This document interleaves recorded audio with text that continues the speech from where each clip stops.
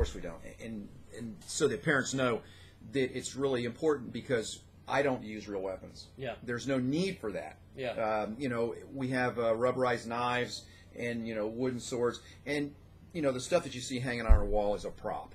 Yeah. For, if, for a better lack of, of a term. Now there are some real ones that are out there. I've got a couple that I keep at home, but the big thing is is that we want to be as safe as possible. Yeah. And safety is a big thing because when you're shopping around for a school, you want to go in there and make sure that your instructors, these instructors, and the person that's going to be teaching your son or daughter is not teaching inappropriate, inappropriate uh, techniques. And the big thing for us is is that we try to make sure that we match maturity with skill and also with their ability. And at some point, you know, you have to realize that teaching a 10 year old child uh, a certain level of self defense is probably not appropriate Yeah. and especially when it comes to the possibility that they can injure another child because honestly they go out in the backyard and say hey watch what i can do I did that as a kid. and um, that's when the fun begins because usually your next door neighbor comes over and says well how did my son end up with a big black eye Yeah. uh, good times. Okay, so um, let's let's kind of switch gears a little bit here. okay What are some common nutrition issues? Because you guys know I'm a dietitian, so I got to ask. What are some common nutrition issues you see with some of your students, some of the other martial artists? well you know it's interesting um, throughout my i guess you could say career in martial arts i've seen the good the bad and the ugly Okay, and um, let's talk about all three. Yeah, we will, and and I'm not gonna I'm not gonna use names because um, I, I don't think that's appropriate. No. But um, a lot of times, what you'll find is is that some of the people within the martial arts community don't take their health as seriously as some of their their students do, and a lot of that can be uh, time related. Sure. Yeah, this is a business that, that requires a great deal of effort, uh, a great deal of uh, physical ability. And so what happens is, is those of us that are instructors, unfortunately, over time, we don't get the same ability to work out as other people do. You talked about getting burnt out too from Mm-hmm. teaching so many classes. I mean, It burned out, and then just the repetitiveness of anything, you know, you can get repetitive injuries through that. But on the nutrition side, part of what I see is, is that, and, and this is in general, people are in a hurry. So uh, I, I still remember, and this has been quite a few years ago, it's a friend of mine who's a doctor. And um, to all you doctors, we, we know that you have poor handwriting, and you want to tell us that we all need to eat well, but I've seen, there's proof that you don't. Uh, he was outside of, of class right before one of our advanced classes, and he and his wife and his son and his daughter were uh, doing justice to a bag of McDonald's food right before class. And I said to him, That's not healthy. And he said, Well, I don't have any time. yeah, And I said, Well, you know, unfortunately, that's the way life is nowadays. People Yeah. don't have time for good nutrition when they really do. There are plenty of options out there. I mean, you can go to, to sandwich places, you can, uh, you know, prepare a little bit where you can bring the food with you. yeah, So, uh, well, from the nutrition side, what I see is is that unfortunately, people are their own worst enemy, and you know that as a nutritionist and, and also as a fitness expert. It's very difficult to try to convince somebody that uh, that five minute hamburger is uh, is not good for them when they can just simply prepare the food at home. yeah, The uh, on the martial arts side, what I find is is that the people that, that do take time, they do take a little bit of effort, and, and they do take care of themselves, are the ones that last longer. Uh, they can, uh, and when I say last longer, in other words, they can uh, perform at a higher level. They can go much longer in the classes because That better fuel. that's true. And and you know, what goes in comes out. And so when you garbage in, garbage out, you get the end result is is you're not going to perform as well. And so that's a big factor too, especially when you start getting into higher level martial arts, where, for instance, we used to have a, uh, an hour long advanced class that was probably as intense as anything I've ever done in my life. Um, there was a consistent, nonstop for 45 minutes beyond um, doing self defense routines Wow. that uh, that probably averaging heart rate probably in the 160s, which is really high. And, and I'd say the average age of the people in the room were somewhere around um, early 40s to late to late 40s, which is a, which is a really good good proof that that you can at that age can still perform quite well. Yeah. But I guarantee you that the, the vast majority of people in there had a fairly healthy healthy lifestyle. Okay, so what comes in comes out, especially in the uh, martial arts classes, and you know, you said that time or uh, what's the word I'm looking for? Convenience is a really big thing even in the self-discipline nature of martial Mm-hmm. artists, I mean, are still going to be subjected to the, the same sort of things. You talked about this earlier. You know, you got your kids signed up for, you know, karate, for Girl Scouts, for, uh, you know, band lessons and all that kind of stuff. You got to find some time to eat in between there, and it's all a matter of priorities. Are you going to make it a priority for you and, and get that excellent uh, output in your classes, or are you going to eat a bag of McDonald's before class? Which you know, there's some healthy choices at McDonald's, but you know they sell cheeseburgers number one on the menu for a reason. So uh, let's let's talk a little bit about. You talked about injuries. What are some common injuries you see in martial arts? Interesting enough, most of the injuries are, are real minor. Okay. Uh, you know, uh, maybe a, a sprain or a torn torn muscle, or, or just a overuse. In other words, you've we do a lot of repetitive motions, obviously punching and kicking. So that's that's primarily what you see. At the worst, pulled muscles. Um, now, the the any of the more extreme injuries that we've seen are not due to what we teach. Uh, it could have been uh, because somebody uh, was thrown improperly Okay. and they weren't prepared for it. Uh, they were injured uh, in a in a tournament situation, which again that may be outside of, of, of their um, their responsibility, might have been from someone else, or that they've done something that um, that is not really related to martial arts. Because in general, martial arts in and itself, you see very few injuries. Even though there's a great great uh, deal of conflict uh, between opponents in a sparring situation, you don't really see that level of injuries. Uh, for myself, I've most of anything that I've done is has been re-injuring something that I had injured a long time in the past that had nothing to do with martial arts. Okay. And so, what and that's what we find for the kids. You very rarely ever see a child get injured. Uh, the adults, you know, we can we seem to be able to hurt ourselves, whether it's a pulled muscle, whether uh, we uh, twist an ankle or something like that. But a lot of that has less to do with actually the practice of martial arts, Yeah. and more to do with the fact that maybe some of us, when we do it, are trying to push too hard. Uh, we're, Happens. we're trying to recreate our youth, which is uh, it has to do with our with our our ego a little bit because we think we can do something uh, that we're not capable of yet, and that's a real uh, a problem with some of the adults. I I know uh, my own wife recently uh, pulled a muscle uh, in her leg, and you know she fully admitted she said, you know, I was just pushing it too hard, and Yeah. I, I shouldn't have been trying to keep up with the kids. Uh, and you know that's the thing too is is it realize what you're what you're doing. You know it's for your health, it's for your benefit. You're not trying to become the uh, the next Bruce Lee. Yeah. You're not trying to become the next Jet Li. Uh, and that's for somebody that maybe that's a little bit younger in their late teens, early 20s, and give them the opportunity. But when you're in your 30s, late 30s and 40s, you know, um, when we've already accumulated injuries outside of that from playing golf and baseball and soccer and all those Yeah. things that we played in our youth, hey, come on, give yourself a break. Yeah, you know, the other person you should compare yourself to is the person you were yesterday. You know, quit looking at the next door neighbor and all that stuff and all that. So a lot of times when people injure themselves, it's because they're just pushing themselves too hard and maybe practicing outside of the realm of, of what you've been teaching them. Uh, you know, one, one thing I tell the people is there is an inherent risk with exercise. You know, you may step out on that mat and roll an ankle or something like that, and but there's also an even bigger risk with being sedentary. I mean, if you're sitting on the couch all day long, you get up and you throw out your back. Would you rather throw out your back from being sedentary, or would you rather maybe like pull a leg muscle and be able to bounce back from it because you're being physically active? Uh, just something to consider there at home. Uh, how do you think a martial artist could benefit from working with a personal trainer?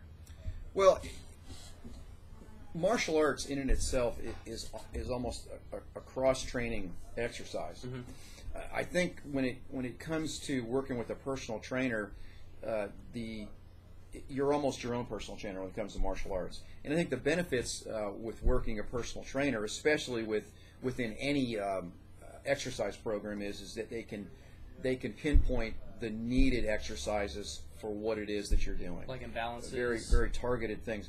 Um, the balance is going to come more from the ma- martial arts, but Okay. from from my perspective, because I've I've done personal training uh, in my youth, targeting the muscle groups, that's a that's a, a big thing. So And- like a sport specific. yeah, sports specific because we you do you do use a lot of uh, leg muscles.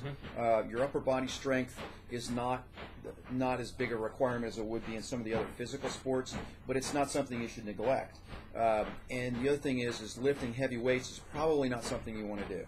Uh, you want to be able to keep uh, keep a, a good muscle mass, but at the same time, you want to be able to keep that flexibility. Yeah. And that's a And that's a strength training can, if you don't stay on top of your stretching, can uh, you can lose a little bit of flexibility. Sometimes, you know, it, it really depends. It depends on again, and, and again, what you're trying to do is target the exercise. So what's what's really going to be the benefit uh, that you get from strength training with uh, with martial arts? And since I did that, you know, for a long time, I, I that was my cross training, which is going in and doing whether it be aerobics by running, whether it be weightlifting for strength. And so by it- being able to cross over into those two areas, it was really important because what it did is it helped me maintain not only my health but also my uh, my physical ability to be able to, to practice. You guys do a lot of calisthenics anyway, a lot of push-ups, sit-ups, and that sort of stuff. So Yes. uh, a lot of that is uh, kind of crossing in between. All right, let's uh, let's kind of switch gears here one last time. What was one of the most meaningful experiences you've had as an instructor? I'm sure you've had a lot. Maybe you could share one or two with us. I- think when it comes to being an instructor and a master, I think the most meaningful things are being able to put a belt around a child who you thought would never ever get there. Yeah. And you know, we're not trying to be critical. We all have limitations in our life. Oh, sure. I mean, I've, I've had clients where I'm like, oh man, like Yep. let's make it past day one, and then Yeah. 50 pounds later. Exactly, and it and I, and I think what you see as an instructor and, and, and, at my level as a master, you see people that for no other reason excelling because you've given them the opportunity. Mm-hmm. And unlike a lot of traditional sports where you don't see, you always see the, the most athletically gifted that they're going to put out there on the Yeah, field first or on the court. And unfortunately, it, it, those people may not necessarily make the best martial artists. But when you have a child who has a lot of different uh, problems, uh, a good friend of mine had uh, severe asthma. They told him that he'd never be able to exercise. Yeah. He's testing for seventh degree this weekend. Uh, we had another child that when I started many years ago, all of us thought there was no way that he was even going to get to, to his first belt. And the last time I saw him before he went off to college, he was a third degree black belt and Wow. probably one of the most skilled that we had in the school at the time. Wow. So there's no reason to give up. Uh, in fact, uh, it's part of what we, we try to tell kids is never give up, no matter what it is. If you have a goal, shoot for it. In fact, if you have a goal, try to put that out so far and keep moving the goal because once you attain something, Set a new goal. set a new goal. Yeah. And and that's the biggest thing as an instructor, and this is what I tell them. Your mind will fool you into believing that you can't do something or Oh. you can't accomplish something. I agree. And you know, we're not talking about somebody who weighs 99 pounds soaking wet and that they're they're going to lift 2,000 pounds. Yeah. You know, that's maybe that's a goal too far, but that doesn't mean that someday they may not be able to do that. Yeah. And when we have kids that have ADHD and and uh, mild forms of autism, that have physical limitations or are just not uh, the most they're they're introverted, they're not the most athletically gifted. You know what? They're the ones that we get in martial arts schools, and they're the ones that benefit the most because in the end we find out that they're no different than anybody else. They end up being honor society kids. They end up being not only good kids, but gifted martial artists because they're trying harder than somebody who comes in who has natural ability and just stands on the floor and says, "I can do this." Well, if you can do it, then prove it. Yeah. And that's the big thing. Put your money where your mouth is. Put your money where your mouth is because you get what you put in. And those kids work really hard because they know that in order to be able to get better, they want to do better. And they want to do better because when I sit up there as an instructor and mm-hmm. encourage them, the biggest thrill I get is seeing the smile on mm-hmm. their face that when you wrap that belt around them. Yeah. And I've put quite a few black belts around kids and some adults, and the ones that really, really have the biggest smile are those kids. Wow. The adults feel really good about themselves. Yeah. But the kids really find that they've accomplished something that not a lot of people have. Wow. I mean, that really just takes people through a journey, and I, I can relate a lot of ways with. You talk about setting the goals and how. I mean, when, when a child has a goal, you know, to maybe be like a, great athlete or to uh, even just be above average, there's so many people in that child's life tell them that they can't do that. You know, you, you have the teachers and the coaches, that, you know, and, and their peers, and, you know, we're all our own worst critic, too uh, to be able to work with a, a teacher like you that you know actually gives somebody a chance. I mean, sometimes that's all people need. Uh, Guy, what's it like for a new student to work with you? Well, as a new student, it's probably, and again, a lot of new students, because of the rank, they get a little bit intimidated. And, and so the first thing I try to do is try to put them at ease. And there's a lot of different ways, and all of us have our different techniques of doing that. Um, and I think the biggest thing is, is that what they're going to find is, is that one, we're not intimidating. um, two, we're we're at a level that we've seen so many different things happen that um, it's really it, it shouldn't be scary. You should come in and say, "Hey, I'm going to have a lot of fun," because you don't get the opportunity to work with somebody who's at the level that I'm at or that other people are at. When you're at, at a ma- when you walk into a school and you have a master who's training you, that should be just you, you should be so thankful that you found someplace that can do that because Yeah. that's an opportunity that doesn't come along very often. And I'm not boasting. What I'm saying is, is that when I started, I didn't have that. Um, I found it later on, not only one but two. And so my opportunity as an adult to have found that, I can't imagine. You know, that's it was a great thing. Oh yeah. But as a ch- but as a child coming in and you can walk in and say, hey, you know what? I got to train with a master, and and your your friends go, really, you know, uh, that's great because they look at that and everybody recognizes, hey, a master. I mean, we've all seen the different movies, and so you know, uh, in it in in without trying to be um, cartoonish, Yeah. you know, the usually the masters are people that do have a lot of humility. Mm-hmm. They they've gotten somewhere in life, and you know they, they don't have to prove anything to anybody. Yeah. And so when a child comes in, just and and, and I do a lot of the intros, Mm-hmm. and uh, and I also do a lot of the privates. And so I really the first thing I do is try to put them at ease Yeah. give them the, the ability to be able to feel comfortable. And I had one of the kids the other day, um, she wasn't having a good day. And so what I did is I said, you know what, you're going to come up and you're going to sit next, stand next to me the whole class. And by the end of that class, she had the biggest smile on her face. And it wasn't because I did something truly unique. It was because I gave her an opportunity that, you know, everybody would have said, okay, just stand there. You know, if you don't feel very good today or you're not having a good day, well, you know what, we'll just see what happens. No, you know, you want to try to bring the best out in people. Yeah. And so that's the uniqueness of being a master, which is that I've seen the good, the bad, and the ugly. Mm-hmm. I've seen people at their worst. I've seen people at their best. And you try to be able to put them at ease because they feel somewhat intimidated to be able to come in and, and, and train with you. And so what they need to realize is it's just the opposite Yeah. because I have nothing to prove. And so what I'm trying to do is pull the best out of them. Yeah, he, he's already paid his dues. You know, guy, guys here not he's not tooting his own horn. I asked him, you know, about you know, what it takes to be, uh, you know, what he does and all that kind of stuff. And you know, I can totally relate as somebody who got started off in, you know, fitness and all that stuff. A lot of it was I'm reading articles on the internet. I'm trying to get in shape. And if I would have had the opportunity to work with, you know, like the trainers that we have here, and start off by that, I'd be I'd be light years ahead of where I was, rather than kind of, you know, fooling around uh, uh, doing something like that. You know, when you, we got an opportunity to work with somebody who has all that experience, I call that the Cadillac ride. You know, do you want to uh, trek through the forest barefoot, or do you want to take the Cadillac ride to your destination? Not saying that it's easy, but you have the map laid out for you, you have the experience, and you know, there, there, there's a lot that comes with science, but there's also a lot that comes with experience as well. And when you can combine those two together, you really have um, a great opportunity. Guy, let's wrap this up. How can somebody who's interested in Youn Wha get in touch with you? You have a website? Our, our website is uh, AmericanYounWha.com. Okay, I'm going to link that down below, so guys, click on that, check that out, and uh, read up on Guy. Also, I'm going to post this on my website on Food and Fitness, which you which you guys can uh, check out down there below. Uh, if you guys, if you like this video, give us a like. Uh, if you have any comments, leave us a comment down below in the comment box. We'd love to hear from you, see what we have to say. Guy, before we leave today, uh, I'd like to open it up and say, do you have any final thoughts that you'd like to leave us with? Well, first of all, I'd like to thank Tony for the opportunity to come in, and you know, you can you can go through Food and Fitness to get to us, or you can you can link to our website because we do have a link on there. Yeah, we- uh, sure. we do uh, we do try to to work with one another because we're in that same type of business, which is helping uh, helping everybody stay healthy Yeah. and hopefully stay young.